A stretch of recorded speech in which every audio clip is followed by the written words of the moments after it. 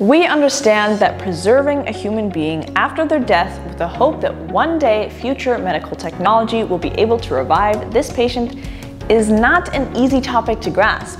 Hollywood has also hijacked the ideas behind cryopreservation, making the mainstream perception of the process different to what it actually is. In this video, we will shed some light on cryonics' biggest misconceptions. Let's start with the most common one, which is none other than the cryopreservation is freezing people misconception. This could not be further away from the truth. In fact, the whole cryoprotection process happens to prevent the body from freezing. You see, if the body got straight up frozen, ice crystals would form, and this would be catastrophic to cell structures.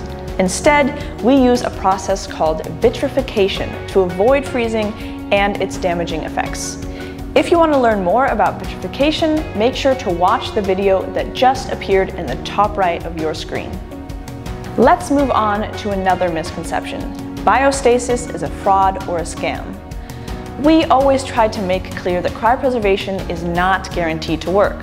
Although we are very optimistic that reanimation will be possible in the future, no one has been brought back to life after cryopreservation yet.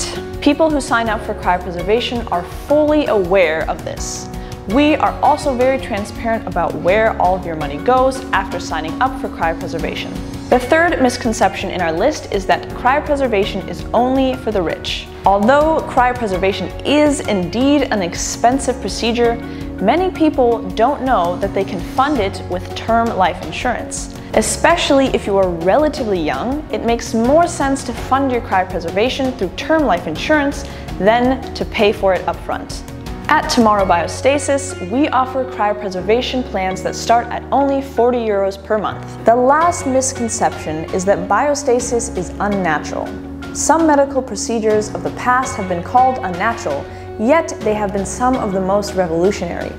Take some of the initial societal apprehension towards organ transplants. New and groundbreaking advancements can often seem shocking, but in the long run offer the best hope for meaningful change. Besides, the process of biostasis is very natural because, well, you can actually find it in nature. There are some species of frogs that can survive up to seven months with their entire body frozen and then thaw out and live again once external conditions have improved. Thank you for watching the whole video. If you don't want to miss future videos about cryopreservation and longevity in general, make sure to subscribe to our channel. And don't forget to visit tomorrowbiostasis.com to find out more about cryopreservation.